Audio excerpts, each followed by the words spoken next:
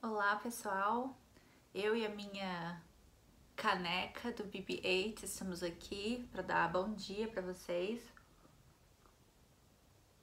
Vou tentar postar esse, esse vídeo pela manhã, porque eu tô dando bom dia porque eu tô gravando pela manhã, mas assim, eu tava pensando agora, é, eles têm que estar tá vendo de manhã, né? Então assim, vou postar de manhã. Mas bom dia, né? O vídeo hoje tá bem temático, porque a capa do livro é laranja, a minha é, mug, é, a minha caneca do BB-8 também é laranja, então está super temático, né? Mas, gente, hoje eu venho aqui conversar um pouquinho com vocês sobre o livro. Eu tô, tipo, sorrindo aqui, eu não sei por que eu tô sorrindo se eu tô tão traumatizada com esse livro, assim. Um livro maravilhoso, mas eu estou traumatizadíssima com ele. Mas eu vim aqui falar sobre um livro que não faz parte de nenhum projeto de leitura, não faz parte do projeto de leitura Dostoiévski, nem o de 12 livros para um, 2021. Mas foi um livro que eu ganhei mês passado de um amigo meu e que eu fiquei tão apaixonada, tão apaixonada assim, que eu resolvi gravar esse vídeo. Né? Eu tô falando de nada mais, nada menos que Helena do Machado de Assis. É, gente, eu nunca havia lido Helena. Na verdade, eu gosto muito de Machado, mas eu só li Dom Casmurro, Memórias Póstumas e alguns contos dele. Deixa eu dar uma olhadinha aqui.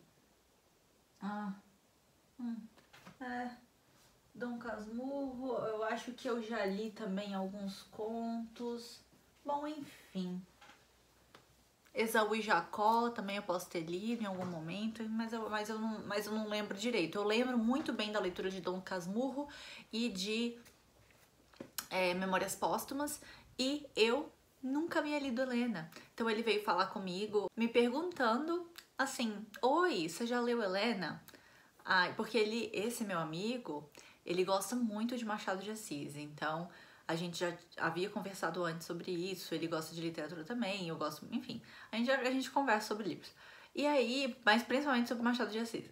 E aí ele veio perguntar, você já leu Helena? Aí eu falei, não. Aí ele, então eu vou te dar de aniversário. Eu fiquei, ai, que bom! Porque minha mãe já havia falado sobre Helena comigo várias vezes, várias vezes é o livro preferido dela do Machado de Assis e Senhora é o livro preferido dela do José de Alencar. Então ela sempre fala: você tem que ler Helena, você tem que ler Senhora, você tem que ler Lucila, você tem que ler, você tem que ler, você tem que ler. E eu nunca li Helena, não sei porquê, não, não é, nunca estava na minha lista de prioridades. Mas já que o meu amigo me deu, eu falei: ah, é um sinal, tenho que ler. E aí ele me deu essa linda, né? Essa daqui da, da, da Penguin e da Companhia das Letras. Achei belíssima essa capa e combina com a minha BB-8 mug. Olha que lindo, gente. O, o, o vídeo está temático, não é mesmo? Mas enfim. Aí ele me deu de aniversário, né? Fiz aniversário mês passado. E, gente, eu demorei um pouquinho pra ler, pra pegar o ritmo. Na verdade, nem foi isso. Sempre que eu pegava pra ler, eu não conseguia largar. Só que eu estava lendo os Buddenbrook ao mesmo tempo. E eu precisava terminar os Buddenbrook. E foi bem naquele momento da minha vida muito turbulenta que eu tava trabalhando demais. Por isso também que os Buddenbrook saíram um pouquinho atrasado aqui no canal, porque eu tava lendo aquele livro, né, que é um calhamaço, eu tava trabalhando muito, foi virada de módulo, eu sou professora de inglês, então imagina, virada de módulo, nota e, e começo de, enfim, loucura total. E eu tava lendo junto, só que aí Acho que ontem eu tava na página 120, alguma coisa assim, aí eu peguei numa sentada só e terminei o livro. Esse livro tem por volta de 260 páginas, por aí. E é, assim, uma leitura muito fácil, né? Tem gente que tem um pouquinho de medo de, de Machado de Assis, acha que a leitura vai ser difícil. Gente, a, a, a escrita do Machado de Assis é uma coisa impressionante, é linda, é belíssima é linda demais. Tem uma cena aqui no final desse livro que eu não vou. Eu não quero dar spoiler, né? Eu até pensei. Ah, eu acho que eu vou contar a história inteira até o final, nananã, porque, né, todo mundo já leu, mas não, não, não é todo mundo não já leu. E se alguém quiser, né, ler, começar a ler, ou então leu na escola e esqueceu e quer ler de novo, né, e, e, não quer spoiler? Então não vou dar spoiler, mas tem uma cena belíssima nas últimas páginas aqui, acho que no último capítulo, ou no penúltimo. Que foi uma das coisas mais lindas que eu já li na minha vida. Me lembrou, o estilo me lembrou, assim, o estilo de escrita mesmo, me lembrou um pouquinho Wuthering Heights, né? O Morro dos Ventos Uivantes. Simplesmente por causa do drama. Assim, o Machado, ele não é ele é dramático, principalmente nos diálogos. Então, por isso que me lembrou, né, o, o Morro dos Ventos Vivantes. Mas a cena que eu tô falando é uma cena muito dramática. É uma cena bem no final, assim, que eu chorei na cena de tão linda. Nossa, fiquei arrepiada agora, gente. De tão linda que ela, que ela é. Assim, a escrita dele é uma coisa fora da casinha. Então, ele e Érico Veríssimo para mim, Érico Veríssimo, né? Os dois é tipo assim, não sei, maravilhosos, pedestal, melhores autores, escritores brasileiros. Acho que José de Alencar também pode ser. Depois que eu ler Senhora, né? Vou vir aqui conversar com vocês sobre Senhora e aí eu dou meu veredito. Mas, é. Ai, gente, eu tô assim rindo à toa de tão boa que foi essa leitura, sabe? Só que vamos conversar um pouquinho sobre o autor, né, gente? O Machado de Assis é uma pessoa, um, foi um escritor fenomenal, assim, importantíssimo para o Brasil, reconhecido internacionalmente. É, vários livros dele estão nas listas de melhores livros, incluindo, acho que, Memórias Póstumas, né? Eu já vi algum. Na verdade, eu já vi resenha aqui de pessoas de fora conversando, falando um pouquinho sobre Memórias Póstumas. E eu queria que Helena fosse tão reconhecido quanto esses outros, né? Talvez Quincas Borbas, é, é, até Dom Casmurro, porque, poxa vida, eu achei Helena muito melhor do que Dom Casmurro. Gente, eu gosto muito de Dom Casmurro, tá? É uma, é uma história que eu gosto. Eu gosto de ler esse livro, já li uma vez, já li duas vezes, já li acho que umas três vezes.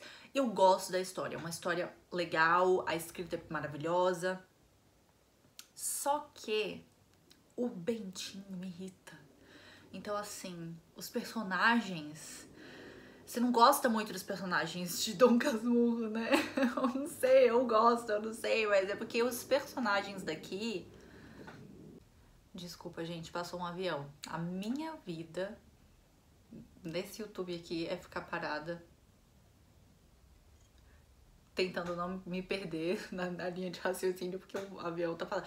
Nunca vi passar tanto avião num lugar como, como passa aqui, mas tudo bem. Hum. Eu acho que essas cidades que tem o aeroporto dentro, né, da, da cidade mesmo, muito próximo da, das casas, enfim, tem esse problema. Eu moro em Brasília e nosso aeroporto é dentro de Brasília mesmo, né? Então, assim, não é longe, você não precisa pegar o carro. É pertinho, muito perto, acho que 15 minutos da minha casa o aeroporto. Então, por isso que fica passando avião toda hora. Então, se vocês ficarem vendo corte, é isso, gente. Aí eu pego um café, né? Tento lembrar do que eu tava falando. Então, todos os personagens daqui, quer dizer, não vou dizer todos, mas os personagens principais eu gosto muito. Então, assim, foi uma leitura muito prazerosa, né? A gente tem três personagens principais, quer dizer, quatro personagens principais aqui, e eu gostei de todos eles. Eu gostei da, da, dos diálogos, de tudo, assim, não fiquei irritada em nenhum momento nesse livro, que é maravilhoso pra mim, porque, gente, às vezes eu me irrito. Ai, mas, assim, é, é, é, maravilhoso. Mas vamos falar um pouquinho, né, sobre Machado. Eu disse que eu ia falar sobre ele e, e, e acabei não falando, mas enfim. Aqui no comecinho, né, dessa edição da Companhia das Letras com a Penguin, fala que ele nasceu em 21 de junho de 1839 e como vocês sabem, eu uso óculos. Mas eu finjo que não uso. Gente, o meu namorado, ele fica louco comigo, fica bravo comigo. Bravo mesmo, porque eu não uso óculos. O meu óculos, né, eu fico cega. E aí eu só percebo quando eu tô sofrendo já. Eu tô tipo, ai, sofrendo. Ai, meu Deus, cadê meu óculos? Enfim. Ele nasceu em 21 de junho de 1839 né, em, no, no Morro do Livramento, lá no Rio de Janeiro. E aí o pai dele, muita gente fala que o Machado era negro, né, é, ou pardo. Eu já vi várias fotos dele como negro mesmo, e eu vou tentar até colocar aqui, né, é, mais algumas mais como pardo, então é uma coisa assim, porque naquela época era preto e branco, então a gente não, né, não sabe muito bem como era, mas aqui, pelo que eu entendi, eu, eu havia entendido que ele era, que o pai dele era negro, é, alguma coisa assim, né? Mas pelo que eu tô vendo aqui, o pai dele, Francisco José de Assis, era pardo. Ele era neto de escravos. Olha que interessante, né? O pai dele era neto de escravo. E a mãe dele, Maria Leopoldina Machado, era açoriana. Então, açoriana da, da região de Açores. Ai, agora esqueci, deixa eu ver, peraí. Acho que é Açores. Açoriana, região de. Isso. Região de Açores. Eu acho que é assim que se pronuncia. Lá, na, na, lá em Portugal, né? Então, no arquipélago português dos Açores. Então, bom, acredito que a mãe dele é portuguesa e o pai dele é descendente de escravos brasileiros, ou, ou enfim, não sei. Mas, de qualquer forma, ele, ele, ele é conhecido por isso, né? Porque ele era. Ele, ele, claro que ele não é conhecido por isso, mas ele também é conhecido por isso, por essa questão aí da ancestralidade dele. E ele é, publicou o primeiro livro dele em 1864. Esse daqui, Helena, ele foi o terceiro dele, ó. O terceiro foi publicado em 1876. Ó, 1876. Ele tinha dois antes, Ressurreição e A Mão e a Luva, e eu não li nenhum deles. Mas, gente, tem uma introdução aqui nessa. Muito boa, inclusive. Essa introdução, foi feita pela, foi escrita pela Marta de Sena e Marcelo Diego. Ó. Logo no comecinho do livro tem a introdução e essa introdução é muito boa. Eu fiz várias marcações, ó. Ela é muito boa mesmo. É... Enfim, conta um pouquinho, né, sobre o processo de, de, de escrita do livro e é bem interessante. Traz várias, traz várias, vários links com a época de Dom Pedro, né? Mas enfim, tra tra traz coisas bem interessantes aqui nessa introdução. Mas é isso, o Machado, ele nasceu no Rio de Janeiro e se desenvolveu muito cedo né, na escrita e virou referência em vida também, não só em morte, né? Depois que, que ele morreu, mas em vida ele se tornou referência. Então, a gente tem que ter muito orgulho de Machado de Assis. E eu tenho pena, sabe, às vezes sobre porque os nossos, os nossos jovens, eu digo isso me, me, me incluindo, né? Porque quando a gente tá na escola, a gente não quer ler os nossos autores, a gente não quer ler nossos escritores né, brasileiros, a gente não quer ler José de Alencar, a gente não quer ler Machado de Assis, né? Então, assim, Aí depois que a gente cresce, a gente vê o que, que a gente tava perdendo, porque os livros realmente são sensacionais. Bom, eu não vou negar, eu, eu li Memórias Póstumas e Dom Casmurro na escola. Eu gostei muito. Mas assim. Não sei, gente. Eu, eu sei que a gente tem essa questão também dos, dos, do, do, dos jovens não quererem ler Machado de Assis por achar chato, né? Acha chato. Gente, não é chato. Cara, eu acho que eu fiquei um pouquinho assim com essa, ah, um pouco de chatice na cabeça, mas eu sempre vinculei essa chatice com Bentinho. Aqui eu tenho certeza absoluta que realmente a chatice era toda dele, porque Helena é sensacional. Gente, eu tô falando demais. Vamos pra história. Vamos, vamos começar a falar sobre o enredo do livro. Então, gente, aqui a gente acompanha essa menina de 17 anos chamada Helena, né? Mas, na verdade, o começo do livro apresenta um, um homem que era conselheiro, né? Ele era conselheiro ele tem uma família, né? Ele tem um filho, a esposa dele já morreu, e ele tem uma irmã, né? E esse filho e a irmã e ele, eles moram juntos. Só que o conselheiro morre. E depois que ele morre, a gente fica sabendo pelo médico da família que ele tinha um testamento e nesse testamento ele reconhece uma filha de um caso amoroso que ele teve. Então, o que que acontece, né?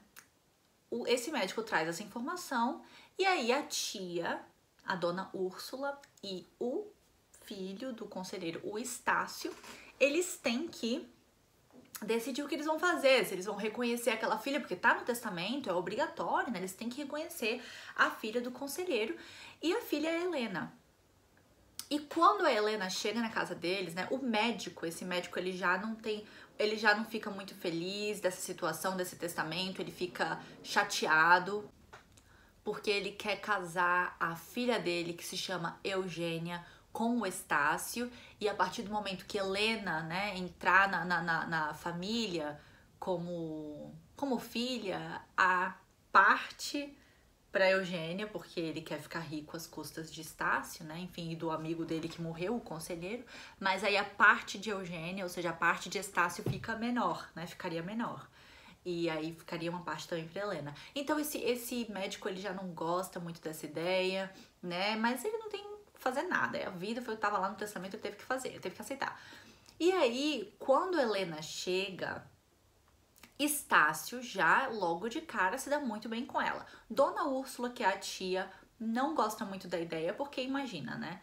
Do nada, uma pessoa de fora, uma para ficar com, com, com a parte, ter, né, uma parte da herança. Enfim, ela fica meio desconfiada e eu não a culpo, né? E ela não gosta muito da Helena logo no começo, não. Ela não trata a Helena mal. Quer dizer, ela não é, ela não trata abertamente mal, mas ela não trata muito bem também não, tem lá umas respostas bem, bem cruas, bem, bem na, na lata. E Helena encontra um apoio muito grande em Estácio, porque logo no começo Estácio foi muito aberto, né? Então, o médico também, ela não encontra amizade no médico, ela encontra em Estácio. E aí, gente, a tia, a dona Úrsula, a irmã do falecido conselheiro acaba ficando doente. A Helena foi morar lá com eles na casa, porque naquela época era assim, né? Ela faz parte da família, então ela foi morar no casarão, né? É, e, e o Estácio, como irmão, ele se tornou o, o, o homem da família, então ela tá lá, né? É, naquela família, então ela tem que se submeter a tudo da, da, do, do, da vida deles. E Dona Úrsula fica doente. Quando ela fica doente, a Helena cuida muito dela. E esse é um momento decisivo no livro. A Helena faz de tudo pela tia, de tudo, tudo. Então é muito decisivo porque foi onde é, tudo mudou. A dona Úrsula começa a amar a Helena de paixão como uma filha. Helena começa. Aí ela consequentemente da abertura para Helena virar a dona de casa, que ela já estava numa idade um pouco mais avançada, não poderia continuar a ser dona de casa da mesma forma que antes. Ela ficou aliviada de passar parte das obrigações para Helena. Então Helena se torna dona de casa, é extremamente inteligente, ela é uma menina linda, né? A descrição dela é bem bacana. Deixa eu ver aqui se a gente aqui, ó. Era uma moça de 16 a 17 anos, delgada, sem magreza, estatura um pouco acima da mediana, talha elegante e atitudes modestas. A face de um moreno pêssego tinha a mesma cor imperceptível penugem da tinha a mesma imperceptível penugem da fruta de que tirava a cor. Naquela ocasião tingiam-na uns longes cor-de-rosa, a princípio mais rubros, natural efeito do abalo. As linhas puras e severas do rosto parecia que a traçara a arte religiosa. Se os cabelos castanho como os olhos, em vez de dispostos em duas grossas tranças, lhe caíssem espalhadamente sobre os ombros, e se os próprios olhos alçassem as pupilas ao céu, dissereis um daqueles anjos adolescentes que traziam a Israel as mensagens do Senhor. Olha que lindo. Ai, gente, Machado de Assis, tô vontade de ler de novo esse livro. Acabei de ler só essa partezinha, eu tô com vontade de ler de novo. Ai, gente, tenho que controlar pra não chorar nesse vídeo. Mas tá, aí ela é linda, extremamente inteligente, extremamente culta, hum, tomou as rédeas da situação da casa, cuidando da tia, cuidando da casa, cuidando de Estácio. Enfim, ela se tornou a perfeita, né, jovem menina elegante que toda a comunidade, toda a sociedade, é, enfim, gostou de ver, né? Todo, todo mundo tava esperando, é, esperava que ela fosse assim e ela foi mesmo. Bom, mas o que que acontece, gente? Qual que é a parte principal desse livro? Qual que é o... a questão do livro? Que... Bom, Estácio tinha uma namorada, a Eugênia, que era filha do médico, e eles estavam nessa de, tipo, tem que casar, não casar, casar, não casar, e ele tava querendo casar com ela. Então tava quase indo, tava quase casando com a Eugênia, tava quase fazendo pedido de noivado. Mas apareceu a Helena, né, gente? A irmã dele. Aí ela aparece. E ele se apaixona por ela. E desde o começo do livro a gente consegue perceber que ele está apaixonado por ela. e que ela está apaixonada por ele. Então, esse, essa é a questão principal do livro. Dois irmãos apaixonados um pelo outro. Ou seja, amor impossível. Um amor impossível. Gente, esse assunto, eu tava até conversando com meu amigo ontem. mandei um áudio enorme para ele falando: esse assunto de amores impossíveis mexe muito comigo. Mexe comigo de um jeito assim e logo no começo do livro, teve gente até que não entendeu. Minha mãe, mas você já tá sofrendo no livro? Já, já tô sofrendo, porque já dá pra ver logo no começo que é um amor impossível e como é que vai ser, como é que essa história vai se desenvolver, né? A gente tem um tantão de página aí pela frente, o que, que vai acontecer? Eu sei que ele tá apaixonado por ela e ela tá apaixonada por ele, eles são irmãos. E é um incesto, mas como é que a gente vai julgá-los? Eles não se conheceram a vida inteira, se conheceram quando ela tinha 16 anos e ele também é mais velho, né? Então, assim, não tem toda aquela questão de irmão e irmã. Não é um incesto como a gente conheceria uma coisa bizarra como dois irmãos que cresceram juntos como irmãos se apaixonarem. É uma coisa diferente, eles estão apaixonados, é, o que, que a gente vai fazer? E aí a gente já consegue perceber que a relação dele com Eugênia começa a mudar, ele já começa a não querer casar, ele fica enrolando o pedido de casamento, ele enrola muito esse pedido. E assim, a gente fica, Estácio, não casa com ela, não faz o pedido, mas ao mesmo tempo que a gente fica torcendo pra eles ficarem juntos, a gente fica. Mas como? Como é que vai ficar junto? Não tem como são irmãos. Então, esse é um. É uma. Como é que eu posso dizer? Uma angústia, né?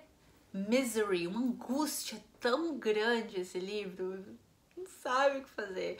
E também tem questões de mistérios que o médico que não gosta muito da Helena, né? Ele começa a perceber coisa estranha, aí rola uma um tipo de, de chantagem aí com a Helena, porque ele consegue, começa a perceber que a Helena esconde algumas coisas. Então ela é misteriosa.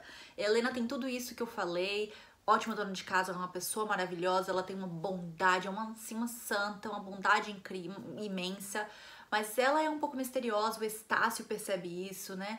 Mas, gente, o desenvolvimento dos personagens, Machado de Assis é um gênio, porque ele desenvolve cada personagem, o Estácio, com assim, sou o irmão, sou o homem da casa, né? Eu sou a liderança aqui, eu tenho que ser. Eu tenho que ser, né?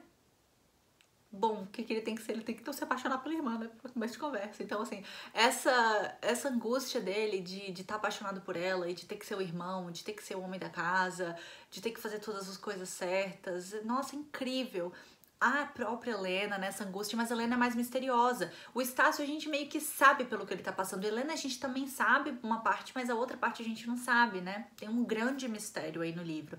E era isso que eu queria comentar aqui com vocês. Eu queria contar o livro inteiro, falar do começo ao fim, falar todas as minhas impressões, mas é melhor cada um de vocês lerem. Tem um mistério muito grande que acontece no final do livro, né? É, que envolve essa questão principal que eu tô falando aqui. Aí tem a questão de será que Eustácio vai ou não casar com, com Eugênia, né? Aí aparece um amigo do Estácio chamado Mendonça, que tava na Europa e ele chega, olha para Helena, se apaixona por ela. Aí tem essa questão desse casamento que pode acontecer entre Mendonça e Helena. Estácio, apaixonado pela irmã, vendo o melhor amigo dele, né, querendo casar com a irmã. Então, tudo isso é incrível. Assim, o livro é incrível, gente, é sensacional. Só leiam Machado de Assis e leiam Helena. Não é tão conhecido assim, ninguém muito fala sobre ele, falam mais sobre Dom Casmurro e, e Bob e, e, Memórias Póstumas, mas leiam, por favor. Só isso que eu peço pra vocês, mas assim, me desculpem se vocês sofrerem muito, eu sofri do começo ao fim do livro. Chegando no fim do livro, Machado de Assis consegue, né, um pouquinho antes do fim, colocar suas expectativas lá em cima de que um final maravilhoso pode acontecer só para te jogar, né, depois do abismo do penhasco. Ah, é brincadeira, gente. Mas assim, muitas emoções, fortes emoções, escrita maravilhosa, literatura de altíssimo nível. É sensacional. Personagens incríveis. Tem um personagem, o Padre Melchior, que é muito bom, um personagem muito bom. Ele acompanha muito Helena, acompanha muito Estácio, né? A família, diálogos belíssimos.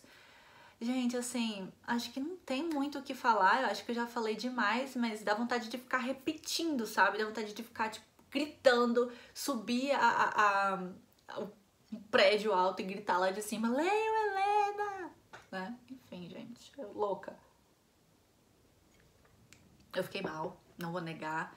Fiquei triste, achei o final cruel, achei trágico, achei sofrido, não quero dar maiores detalhes. Bom, eu não dei muita coisa, né? Dois irmãos que se apaixonam, o que, que pode acontecer no final? E os mistérios por aí. Que mistério que é? Que que, que, que, que, que vai acontecer, né? Aí nesse final. Ai, gente, eu quero ler de novo. Ai, gente, eu tô emocionada. Mas enfim.